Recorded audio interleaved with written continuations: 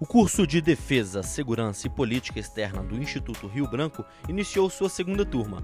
Nesta quinta-feira, o ministro da Defesa, Raul Jugman, esteve no Instituto para ministrar a aula inaugural do curso, que é o início da carreira diplomática dos estudantes.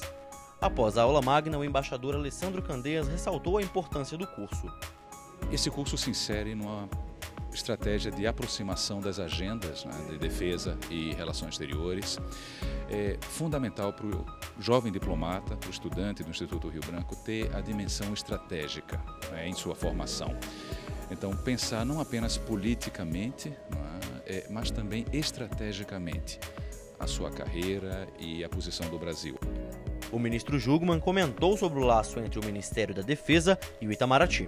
As relações exteriores, a diplomacia brasileira é fundamental tá certo? para delinear e dar rumos né, da nossa política externa.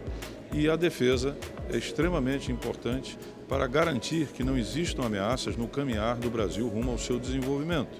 Então, quanto mais juntos e articulados, coordenados estiverem relações exteriores e defesa, melhor para o futuro do Brasil.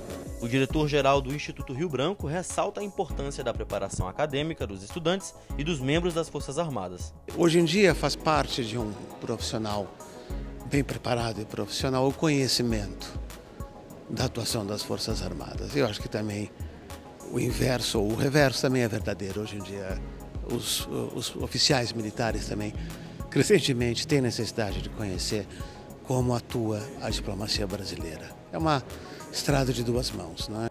O estudante Felipe Ferreira está empolgado com o curso e destaca a aproximação dos estudantes com embaixadores de carreira. Eu diria que cerca de 80% das, das matérias, das disciplinas que nós temos no Instituto Rio Branco são com embaixadores de carreira.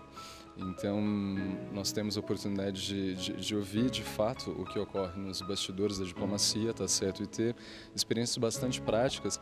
E eu acredito que o que o Instituto Rio Branco agrega não só o reforço teórico, mas sobretudo o contato direto com profissionais da área, acho que é bastante importante para todos os diplomatas.